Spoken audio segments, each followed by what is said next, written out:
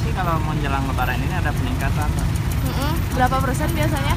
Eh, ya hampir dua kali lipat, tiga kali lipat sih Mm-mm. kalau menjelang lebaran. Tapi emang biasanya mangkal di sini. Biasanya mangkal sini kadang-kadang, Heeh. kadang-kadang sih biasanya kadang-kadang keliling. Heeh. Kalau lebaran gini kan udah pada tahu jadi di sini semua Heeh. nggak ada yang keliling. Rame sih kalau jelang lebaran lima hari itu rame. Lima hari itu biasanya hitungannya. Lima hari. Peningkatannya biasanya berapa persen atau berapa kali lipat?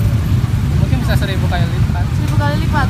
Terus dari masnya sendiri nih, karena menjelang lebaran, eh, ada kenaikan harga nggak yang biasanya mungkin sepuluh ribu jadi lima belas ribu gitu? Naik harga juga berpengaruh. Biasanya 100 persen naiknya. Oh, Kalau dari 100%. sepuluh ribu, dua puluh ribu bisa 50 persen juga dari 25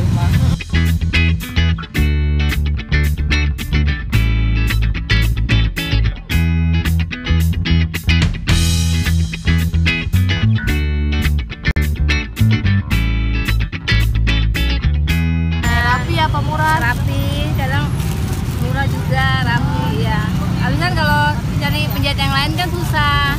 Dan sini yang banyak Misalkan kenapa? kalau di sini kan lebih praktis. Kalau di tukang jahit tuh uh, tanggal-tanggal segini udah nggak terima. Udah udah habis gitu. Udah gitu juga udah penuh kan. Kalau di sini kan lebih praktis lebih gampang. Udah gitu cepat kan langsung jadinya. Oh jadi bisa ditunggu ya bu ya? bisa ditunggu